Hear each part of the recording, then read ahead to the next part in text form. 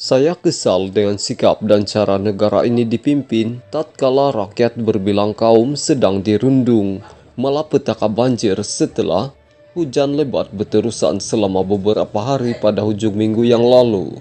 Setakat hari ini 17 mangsa telah dilaporkan maut di Selangor dan 8 mangsa di Pahang manakala lebih 60 ribu lagi kehilangan tempat tinggal tanpa ada tanda-tanda jelas berhubung keadaan rumah dan tahap kelangsungan hidup selesai banjir surut. Kelemahan-kelemahan utama berhubung tahap kesiapsiagaan negara dalam menghadapi bencana kini terpampang jelas.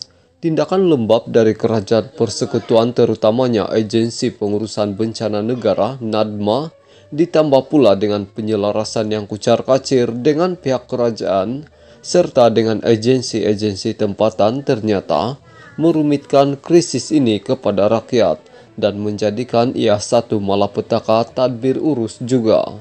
Kelewatan dalam menggerakkan Angkatan Tentera Malaysia ATM telah memungkinkan beberapa pegawai untuk bertindak dengan inisiatif sendiri dalam membantu warga yang terkesan. Penyelarasan yang lemah antara pasukan sukarelawan dan Angkatan Tentera hanya menambah kekeliruan dan kekecewaan.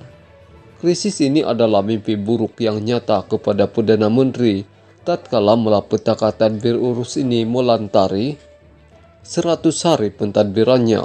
Kegagalan demi kegagalan dalam mengurus bencana ini hanya menonjolkan tahap keupayaan sebenar kerajaan yang dikemudi beliau.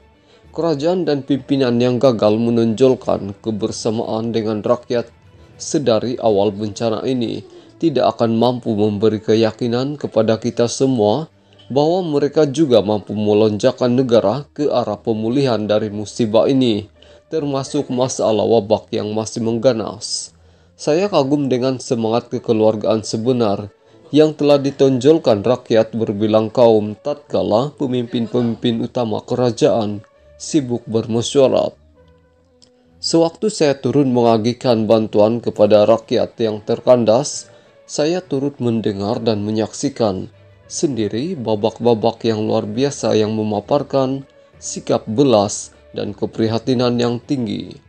Saya turut berkongsi kekecewaan mereka berhubung kelemahan kerajaan dalam krisis ini, perubahan iklim dan tahap kesadaran kita yang lemah terhadap peranan dan kepentingan alam sekitar akan menyaksikan peningkatan yang amat dahsyat, terutamanya dalam aspek keberlakuan bencana alam di masa depan. Kita tidak mampu untuk memikir dan menyiasat apa yang menjadi puncak kelemahan kita hujung minggu yang lalu.